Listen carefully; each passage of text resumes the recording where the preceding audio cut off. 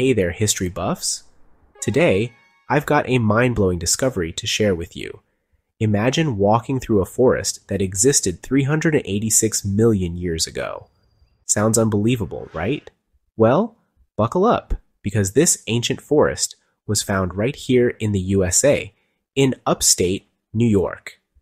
In Cairo, New York, at the bottom of a seemingly ordinary sandstone quarry, scientists unearthed a network of trees sprawling over 400 kilometers or 250 miles.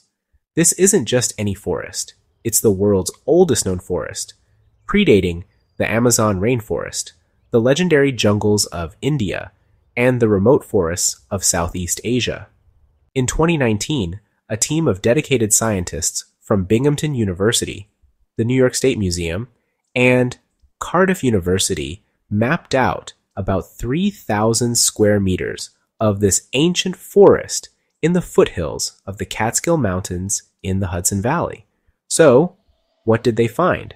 This ancient forest contained early plants called cladoxylopsids, which are similar to ferns and Archaeopteris trees, which have fronds for branches.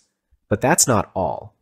They even uncovered a single example of a third type of tree, which remains unidentified but could possibly have been a lycopod. All these trees reproduced using only spores rather than seeds. Imagine a world without seeds.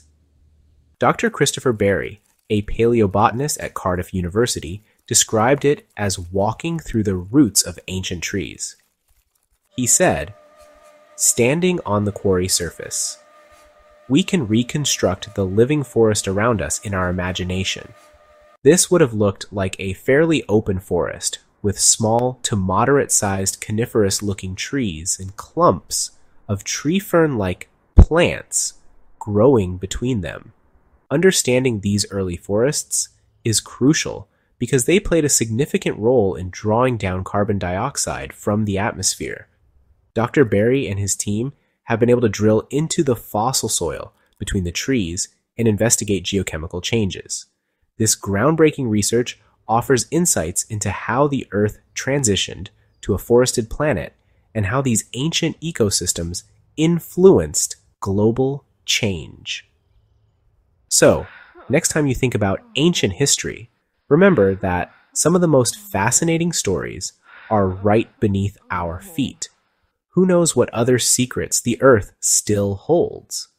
Thanks for watching, and if you enjoyed this dive into ancient history, don't forget to like and subscribe for more amazing discoveries. See you next time.